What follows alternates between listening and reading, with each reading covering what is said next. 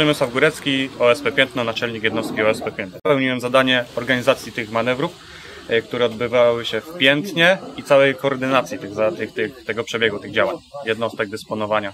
Pierwsze cztery jednostki miały, e, miały za zadanie e, bronić linię torowiska przed pożarem typu pożar ścierniska i kolejne jednostki, które przybywały sukcesywnie na miejsce działań, miały zbudować linię zasilającą e, i przepompowywanie wody z basenu do basenów na dalsze odcinki.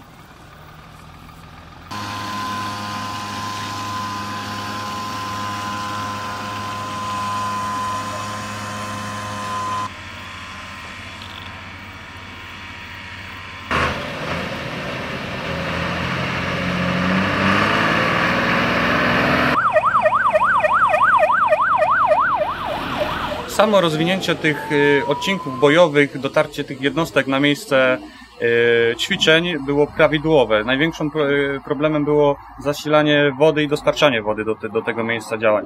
Bo tutaj na, tą, na ten duży obszar mamy tylko kilka samochodów gaśniczych z wodą, które nie nadążały wozić tej wody.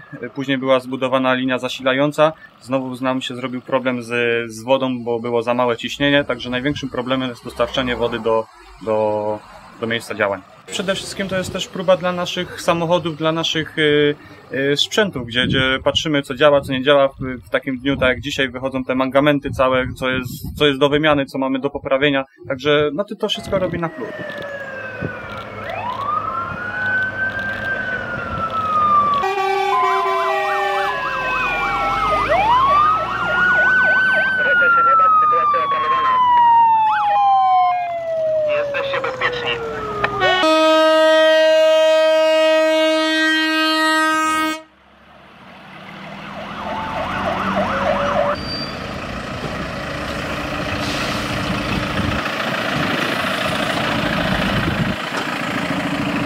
Pierwszy raz się u nas odbyły od tego czasu, gdzie był ten koronawirus, gdzie było wszystko zawieszone. Pierwszy raz tak się odnowiły te manewry. Na zakończenie właśnie porozmawialiśmy, podsumowaliśmy to e, i stwierdzili, że takie manewry powinny być częściej, nawet dwa razy do roku.